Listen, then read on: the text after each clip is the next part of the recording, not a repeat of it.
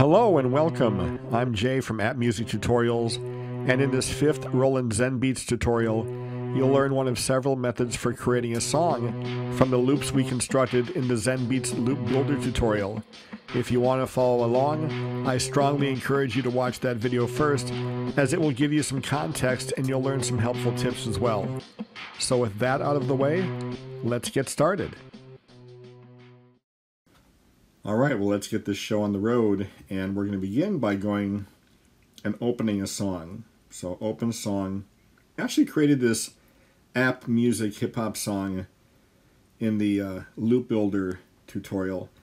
And if you happen to have been with us at that point, you can open up the song. If you weren't, then there should be a card popping up right about now that you can click on that'll take you back to that tutorial. Uh, you'll be able to build the pieces that we've got incorporated into this song and you'll learn a few um, tips and tricks and very helpful information along the way. Uh, otherwise, you're welcome to stick around and uh, whatever you learn here, just apply to whatever you've got going in Zenbeats as far as your own projects are concerned. So, at any rate, I'm going to open up the app Music Hip Hop Song. And here uh, is kind of where we left off from the last tutorials. So we've got three uh, drum loops, a couple sequencer synth loops. We've got the Electro Composer loops, and we've got a couple of just kind of free-form audio loops that we pulled out from Zenbeats archive. And uh, now, what do we do with this stuff? How do we actually convert this into a song? Because certainly I can perform back the tracks and play back the tracks, and we'll talk about performance recording at a later time. But in this tutorial, I want to talk about another method of creating songs from the loop builder, and that is to copy the loops from the loop builder into the timeline. And that's a workflow that I actually use and actually like about this particular system. It's kind of like Ableton in that regard, if you will. There's like a performance side of it where you build your loops, but then you've also got the timeline view, and I like that workflow. So uh, let's go ahead and copy over a loop. Well, before we do that, let's go ahead and change this classic hop drum pattern. Uh, it, it sounds a lot like classic hop 3. Yeah, a lot like classic hop 3. So what I'm going to do is I'm going to switch out classic hop 2 for another drum kit. And to do that, we're going to double tap on classic hop 2 and now let's just go up and tap on the Classic Hop 2 name, and we're going to look for Big Beat 9, and select that. And let's play that back, and you'll see how it kind of fits in.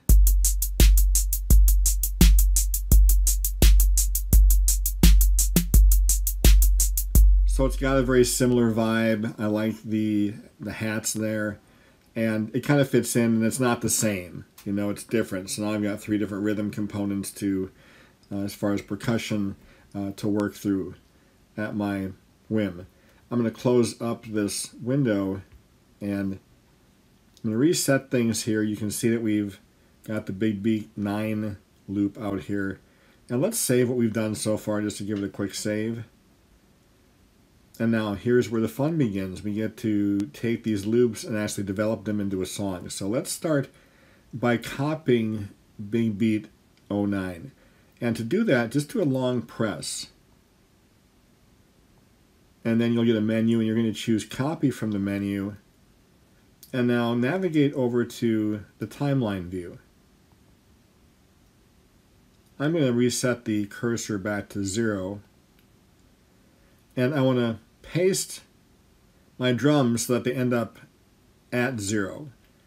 So um, I'm going to get my cursor right up next to this line here or my finger, depending, and I'm just going to do a long press here. And now I've got two options. Let's choose paste pattern. And there's our drum pattern. So let's play that back.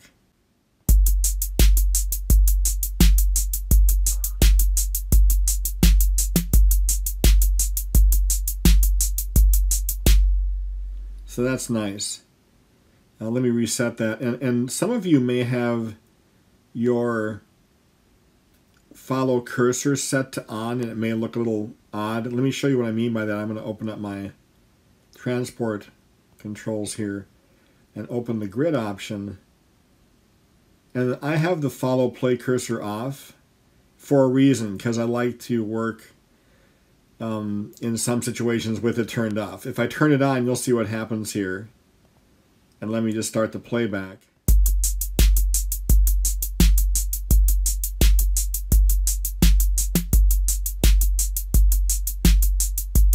It, it kind of starts to move everything off the screen to the left.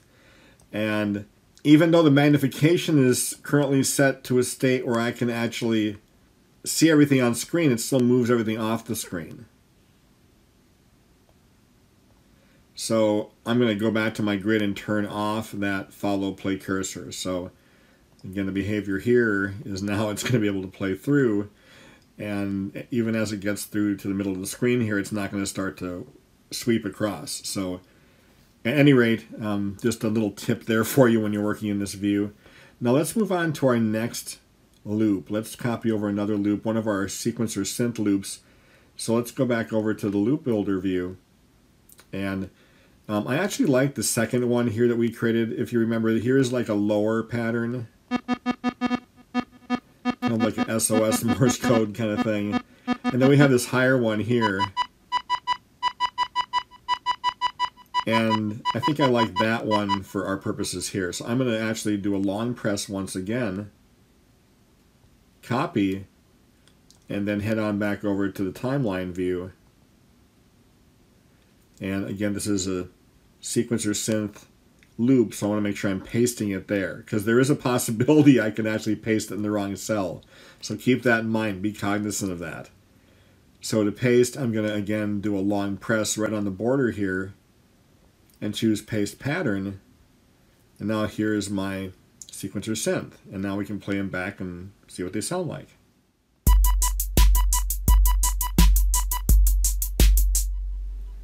Cool. All right, let's go back to the loop builder view.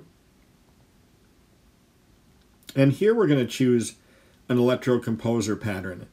For this one, I actually do think I like this first one a lot more.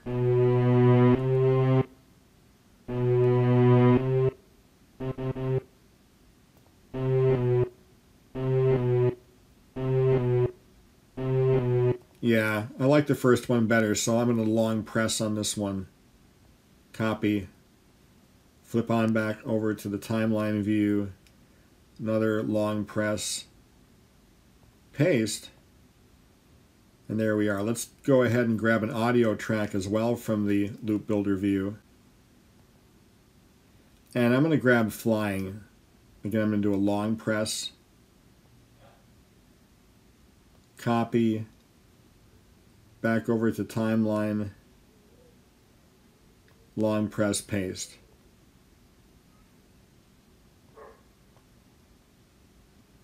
Now there were other options there too that I'm not going to go into, but you saw that for the audio track there's a loop browser. So if I wanted to exchange or change out loops that are currently in a cell or I want to add something on the timeline here as an audio file from my library in ZenBeats, I can do that. All right, so let's play this back and see what we've got cooking.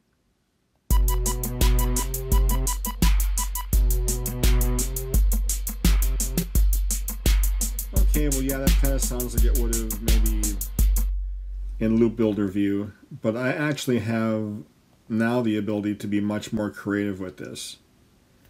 So I'm going to actually copy this sequencer synth loop to another position. And again, just I'm going to do a long press, copy, and then I'm going to place the cursor here at measure 3, and again do the long press, paste.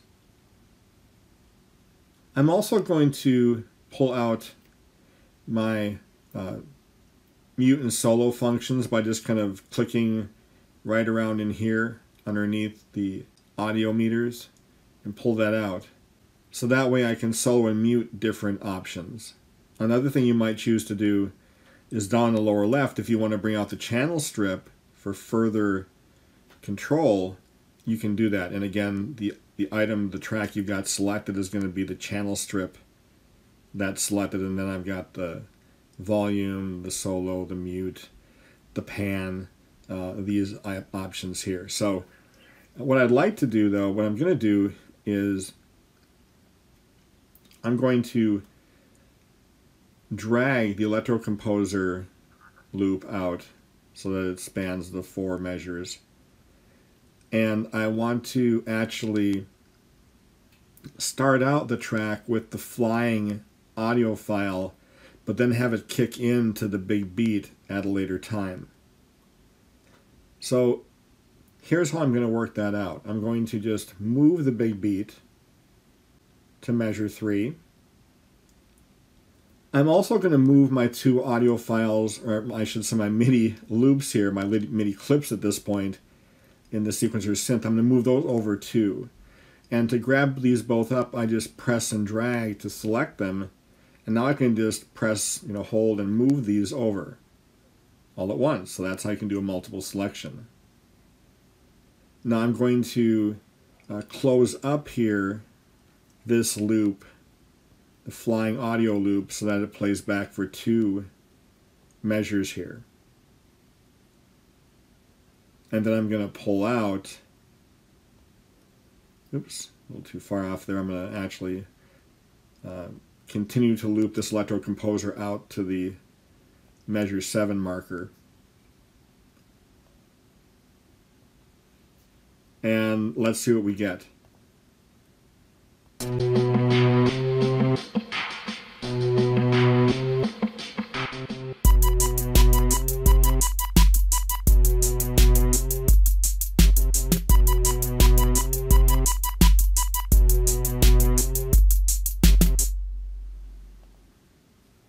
So that's what we have thus far.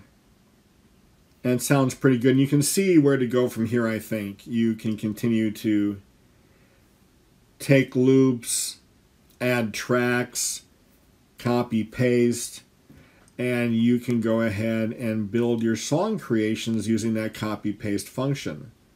So I love that workflow. It's really, in my opinion, a very easy, very logical approach especially if you're a beat maker and you want to start off making beats and then apply those to an actual, maybe a longer arrangement. So I, again, I like that workflow quite a bit. But there are other ways to actually record your loops, and we'll talk about those in another video. For now, though, let's uh, save what we've done so far. And I'll click on my arrow button to do that or tap on it. And now let's suppose that I've gotten my song to the point where I want to output it and maybe share it with somebody. I want to share it with a contemporary to get their opinion or maybe so they can work on it or do something with it. So here, right next to the save button is the share button. And if we click on that, this is where we can go to create our mix. And when we mix it down, it's basically mixing this into a two track file, two track audio file. Now the default is a wave file. So this has the wave extension here. And I like waves, so I'm going to leave it set to that. But we do have some other options here. We have FLAC, and we also have OGG. So FLAC is a lossless codec that allows for a smaller file size and high fidelity, uh, as is OGG. And OGG gives you some quality settings. I'm not quite sure why, if it's lossless, why they would need to do that, but there they are. I'm going to set that back to wave. And then I also can tell the system what to mix down. And in this case, I'm mixing down the entire song, but I can also mix down a loop region. So if there's just a section of a song I want to be able to output to a file, and that option is also possible. But again, I'm going to use the entire song option. Now, real-time render with this selected, it means it's going to take as long as your song takes to play through to render the file. Uh, so I'm going to name this song, and you can probably name it what it is. I'm just going to add a V2 on this, and that's just my own coding there. And then I'm going to use the real-time render and choose Create Mix.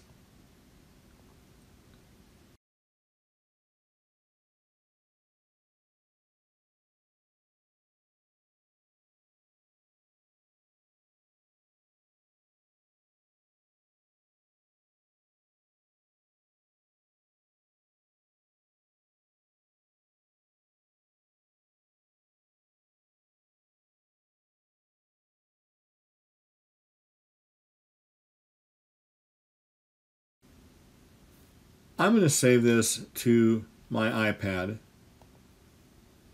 And I have a specific place I like to put my music, and that is in a app called Audio Share. So I'm going to choose Audio Share as my save option and choose save. And you can place that file wherever you can get to it later on to review it. it says my mix was created successfully. Do I want to view my new mix? Sure. And this is where you go if you want to create a new song or to get access to your current songs, aka projects. But we're now in the My Mixes section, and I have a lot of mixes here, all right? But the one that I just got done mixing down using the real-time render is this App Music Hip Hop Song version 2. Let's hear what it sounds like.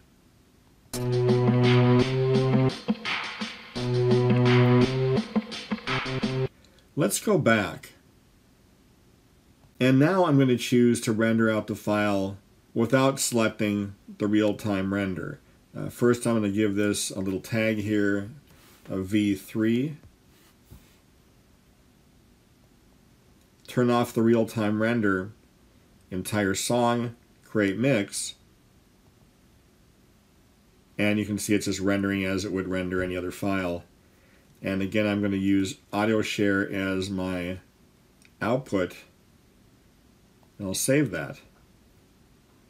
And I am going to want to take a look at this right now. So here I've got the two side-by-side -side songs, one of them rendered using real-time render, the other just rendered straight out with no real-time. And truthfully, I can't even hear the difference. But that's just me. But now you've just seen and you've just learned how you can copy those loops from the loop builder view into the timeline view, compose a song, and output the song into a two track file. In our next video, we're going to take a look at how to record performances. So until then, thanks for watching. I'll see you next time. If you enjoyed this video, please give it a thumbs up. If you'd like to see more quality tutorials, consider clicking the subscribe button. Thanks again.